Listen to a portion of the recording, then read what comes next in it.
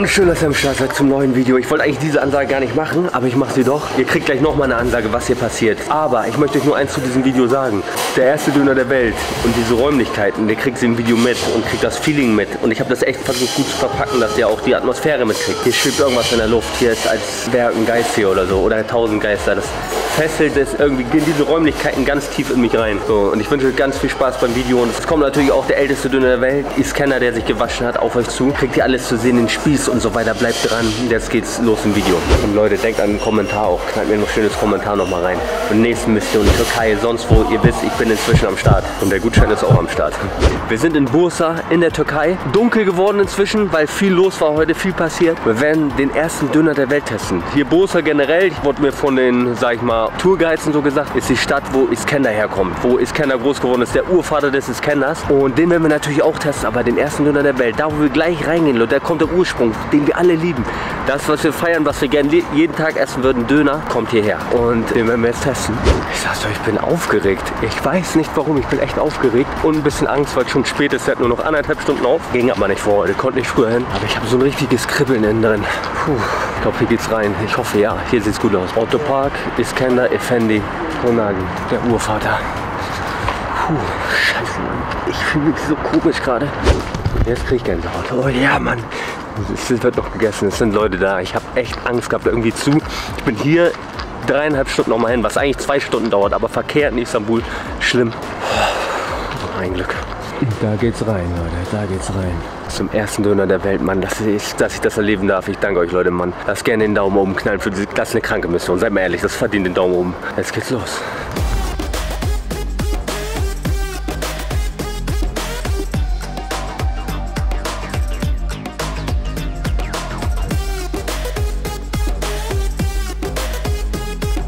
Kriege ich eine kleine Führung. Thank you. Hier oben kann ich auch noch, Leute.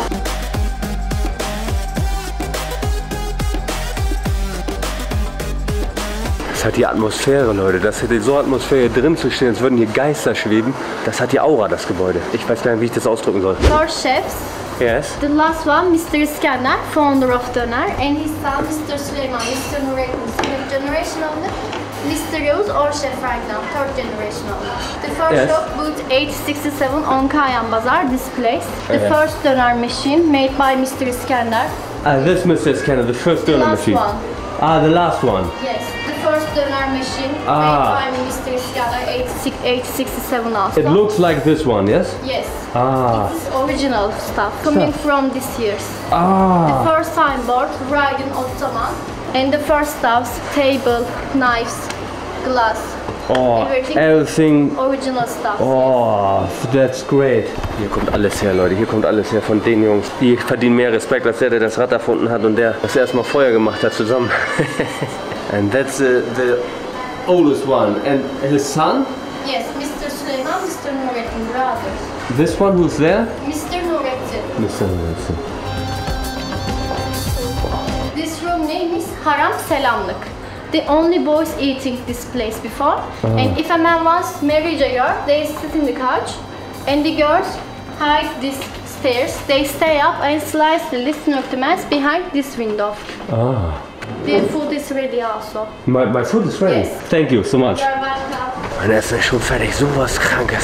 Das ist einfach mystisch hier. Das verbirgt irgendwas in sich hier, das Ganze. Ich fühle mich ganz, ganz speziell.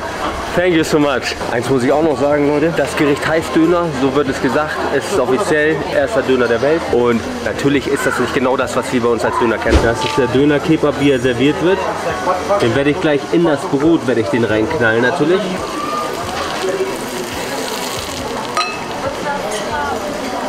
Bon appétit. Thank you.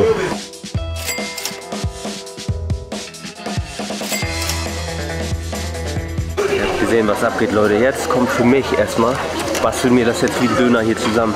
Butter da frisch drüber, habt ihr gesehen?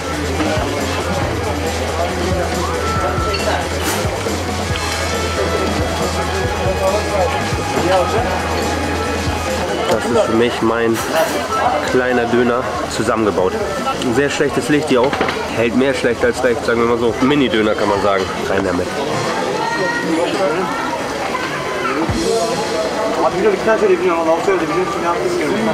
Das Brot ist angeröstet, voll gesogen von Butter, voll mit einer schönen Röstung. Genauso wie man es kennt vom gerösteten Brot. Und das in dieser Kombi mit dem Fleisch ist schon außergewöhnlich, Mann. Sehr außergewöhnlich. Wieder wie viele Döner oder wie viele Spieße hier in der Türkei. Relativ lammlastig. Und hier haben wir jetzt halt noch das Phänomen, dass es auch einen gewissen Hackfleischanteil hat. Bevor ich zum Iskender nochmal eben schnell rübergehe, nochmal ein paar Eindrücke schnell vom Laden, weil ich finde das hier so episch. Dann geht's weiter beim Iskender.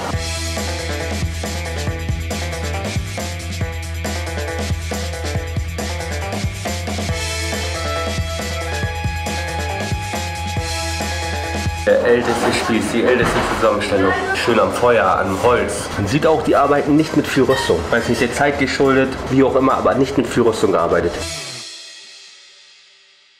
Für all die Türken, ich verstehe kein Wort.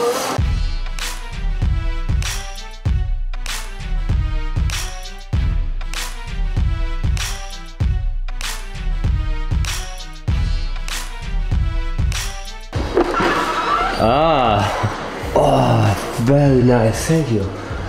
Alte Räumlichkeiten hier, Leute, Mann. Alles Originalgegenstände hier.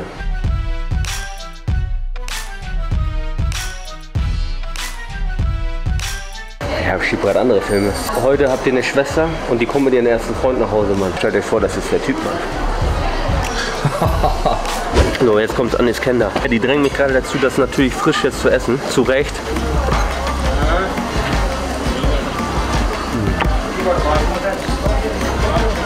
Licht ist zu schlecht wegen Fokus.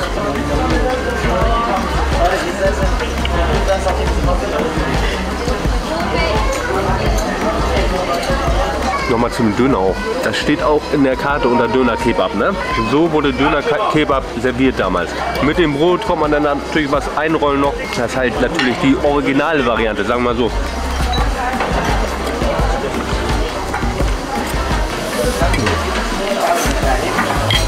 Also das Kenner für mich, sagen wir einfach so nicht so stark, wie ich gedacht hätte. Dann erwartet ihr das Beste der Welt, aber nur weil der Ursprung ist, ist es nicht das Beste. Ist lecker. Auch die Butternote da drin ist Welt. Ist schon krass mit der Butter. Aber tatsächlich, das Fleisch ist für mich ein bisschen Schwachpunkt. Nehmen wir nochmal zum Döner rüber.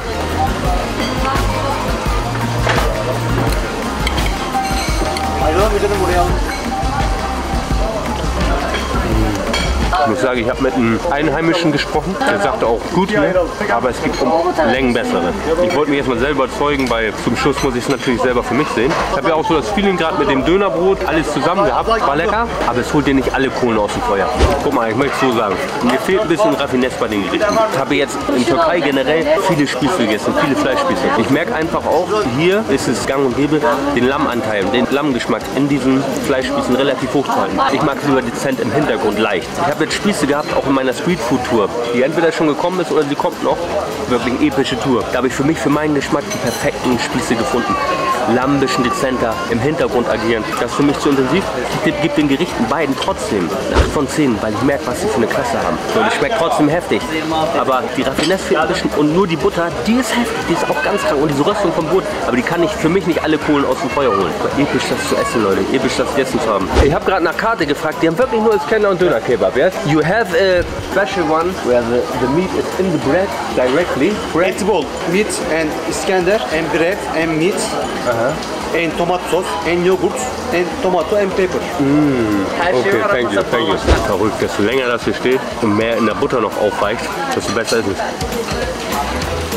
Wird Real Talk immer besser. Ist immer noch warm, nicht mehr ganz so heiß, aber irgendwie wird es immer geiler gerade. Ich weiß nicht warum. Ich habe gleich zwei Gerichte komplett weggeballert. Ich habe mir da ja meinen Döner selber gebastelt. Den würde ich schon auf eine 8,5 ranken. Das fand ich schon sehr geil. Natürlich die Butter da drin, alles was man braucht, damit das Geschmack kriegt. Aber das war für mich schon der Trumpf und ein heftiges Erlebnis, krankes Erlebnis für mich.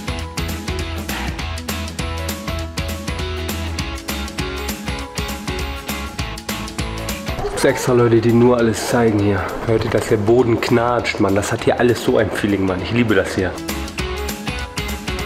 This is guest room. Guest room. Yes, everything is handmade. The walls painted over four years.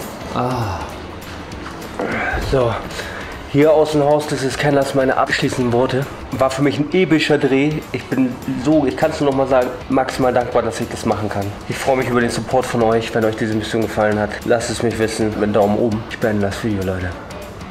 Ich sag's jetzt einfach ganz trocken. Bis zum nächsten Mal. Ich bin gerade ein bisschen neben mir.